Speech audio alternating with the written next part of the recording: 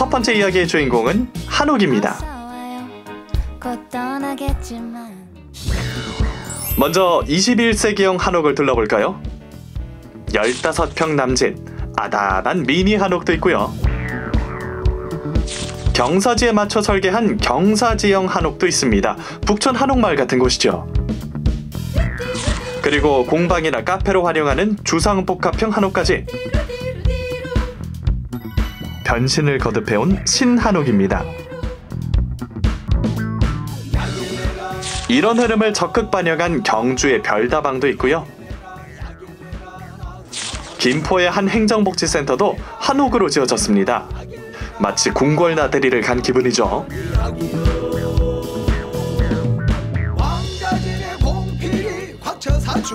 이젠 캠핑카도 우리 방식으로 고정관념을 뛰어넘은 한옥의 시대입니다. 동급 장자방의 옥 궁궐 목수 출신 김원천 한옥 건축가와 함께 특별한 집으로 가보시죠. 부장님 어, 안녕하세요. 오늘 어떤 일로 오신 거죠? 오늘 여기 경복궁 서촌에 그 집 구경 하러 왔어요. 같이 한번 가보실까요?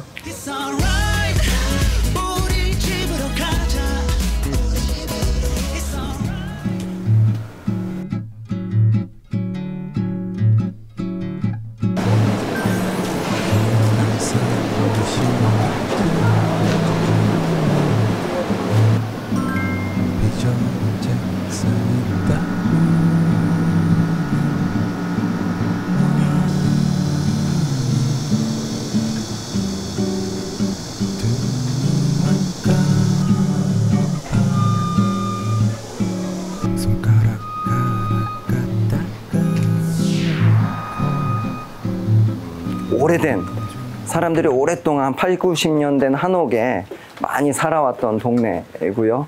역사도 그다음에 시장도 아직 남아 있는 네, 정감 있는 동네입니다.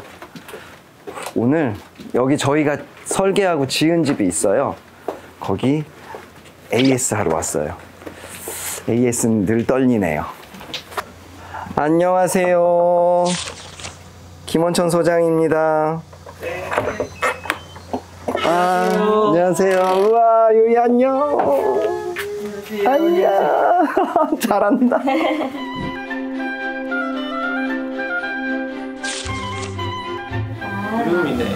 가장 힙센 사이에 구름 나오지, 그지? 가장 사이 구름. 맞아, 맞아. 가장 힙센 사이 구름이야. 글자? 글자.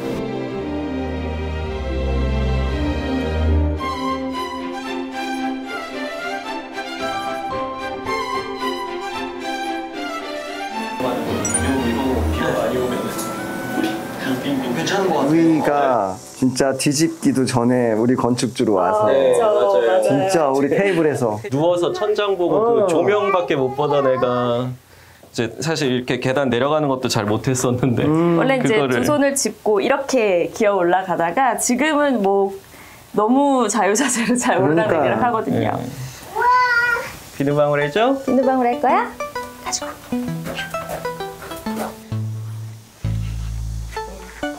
우와 크다.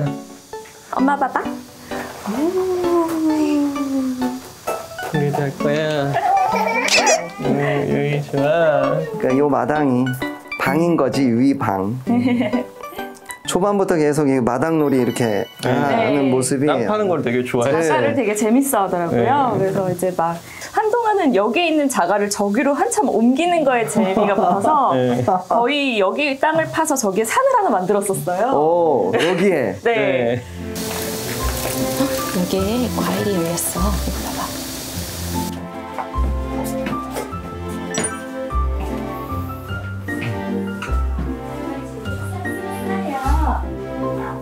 유이 손이 안 닿는데 일단 술병이 하나 둘씩 채워진다 이제.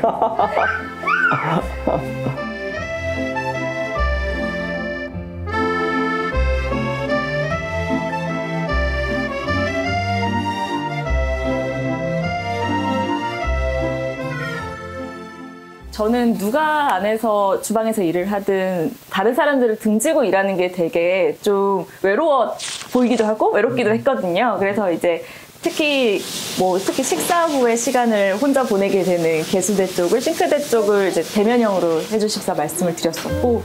구독 구독 음,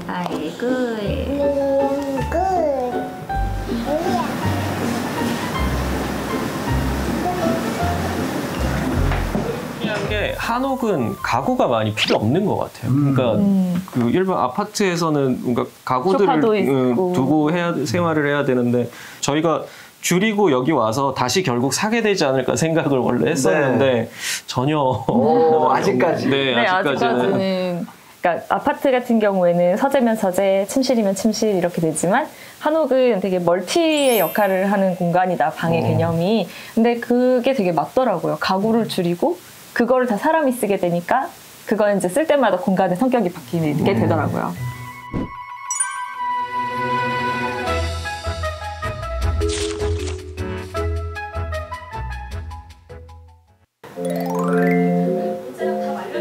저는 아 이거는 꼭 해야 되겠다 느꼈던 게 할머니 집 장독대 네. 그래서 우리 같이 얘기하면서 이건 해야 된다. 네. 왜냐하면 그게 어떤 결과가 나올지라도 우리가 잘할 수 있고 그다음에 또 애착을 만들어 드릴 수 있을 것 같아. 였는데 그렇게 됐나요? 그, 그 부분 되게 크게 생각했어요. 네. 그래서 아시겠지만 저희가 되게 물건 보관하는 거 좋아하고 이제 기억 같은 거 보존하는 거 되게 좋아하고 그러다 보니까 이 집 자체가 이 기억이 켜켜이 이렇게 있는 거를 한 겹 한 겹 벗겨내시는 느낌을 저 되게 많이 받았어서 저희가 그런 부분들을 되게 많이 말씀을 드렸던 것 네, 같아요. 맞아요. 유리도 많이 살려달라, 돌도 많이 살려달라, 기와도 살려달라 이런.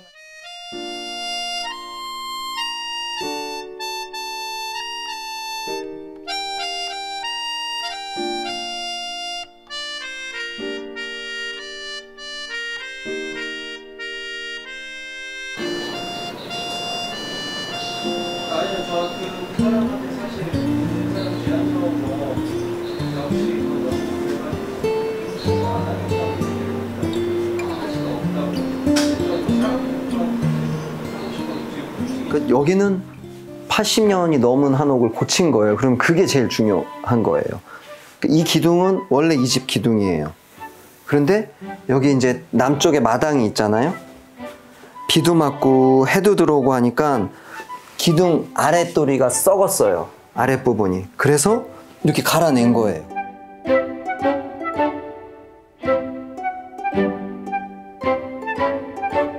여기는 아빠의 기억이 있어요. 아빠와 외할머니의 기억이 있는 기둥인 거고.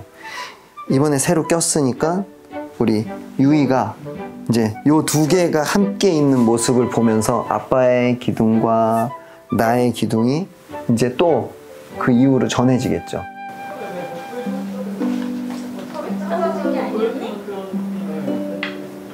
이거 뭐야?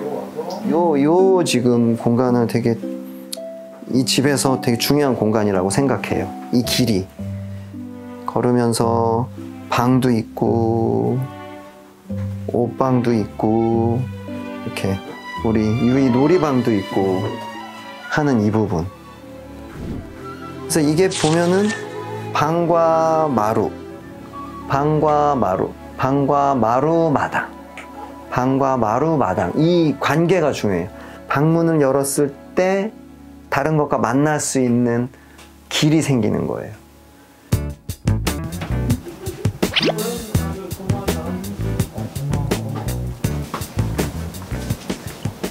여보.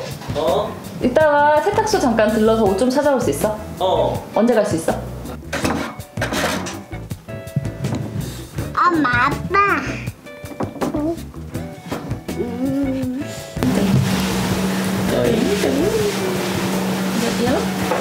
유유 윙크 할수 있어?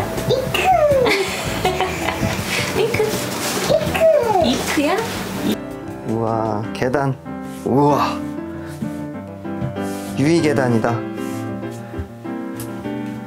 아 장난감 방 여기가 되게 그 공간이 높아서 유이한테 너무 좋을 것 같아.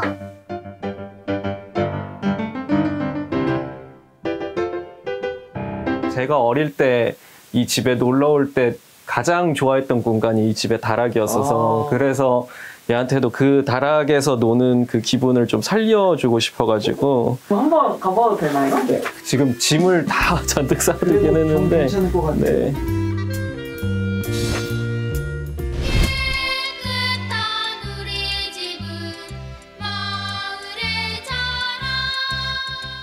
지금도 가팔라서 잘 못 올라가는데도 기어 올라가려고 진짜 등반하듯이 올라가려고 해서 나중에는 정말 여기 짐도 다 비우고 얘만의 공간으로 바꿔야 될 것 같긴 해요.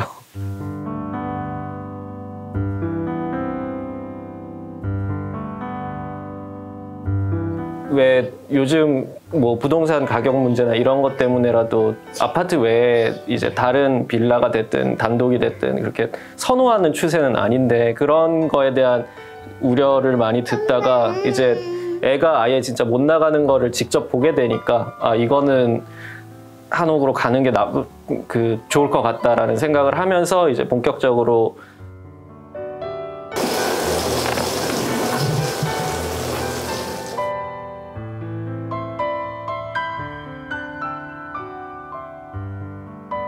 아침에 눈을 뜨고 일어났을 때 어제와 다른 오늘의 공기 그런 것들을 조금 느낄 수 있는 아이로 자라기에는 되게 좋은 환경인 것 같다라는 생각을 또 하기도 했고 골목에서 되게 많이 알아봐 주시고 예뻐해 주세요. 그래가지고 어린이집 갈 때도 아이를 보면은 아 오늘도 예쁜 토끼 인형을 가지고 나왔네 라고 말 걸어 주시고 엄마랑 어린이집 가는구나 이런 얘기도 해주시고 그래서 아이가 먼저 이제 인사를 하더라고요. 안녕하세요. 그 인사하는 걸 보면서 아 이런 인성적인 측면에서도 어떻게 보면은 조금 더 이제 촉촉한 그런 생활을 할 수 있지 않나 그런 생각을 좀 했던 것 같아요.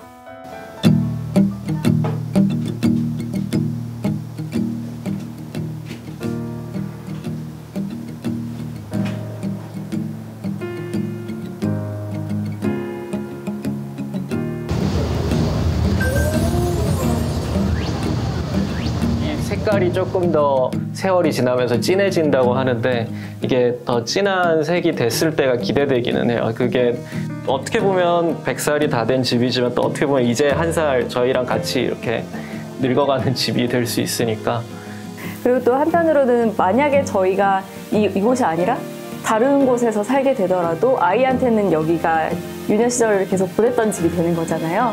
이 집에서 저 계단을 오르락 내리락 하면서 놀았었고 다락에서 아빠랑 숨바꼭질을 했었던 집이야 라고 누군가에게 말할 수 있는 그런 집이 됐으면 좋겠다는 생각을 하죠.